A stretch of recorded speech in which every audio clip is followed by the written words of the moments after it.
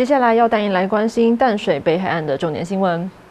选战倒数十五天，今天上午前总统马英九特别来到淡水老街，为目前新北市第一选区候选人，也是国民党唯一征召的青年代表陈伟杰进行辅选。前总统马英九勉励陈伟杰要勇往直前，替国民党守住淡水关键的席次。随后，马前总统与陈伟杰也步行前往清水街的传统市场扫街拜票，向民众恳托支持。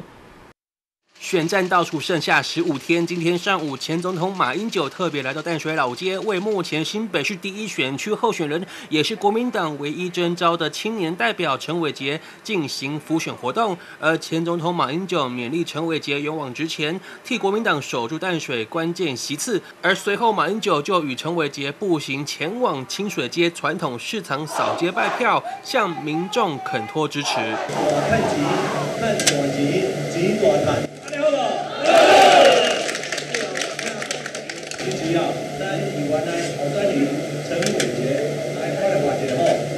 陈伟杰。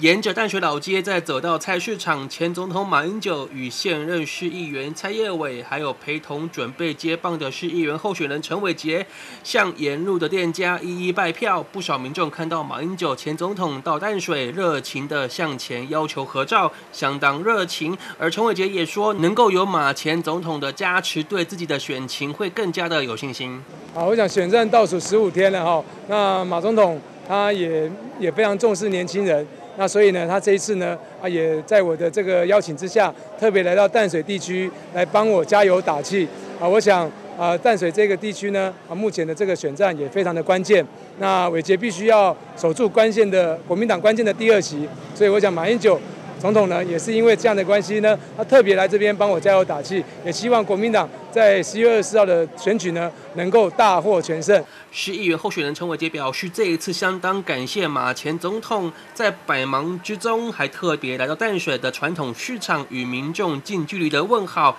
并且两个人的手势都维持七号，就是要大家来支持陈伟杰。而马英九所到之处都有热情民众出来回应，也看得出来选举越来越接近，许多重量级人士都精锐进出，就是要拿下市议员的席次。记者许端一带去采访报道。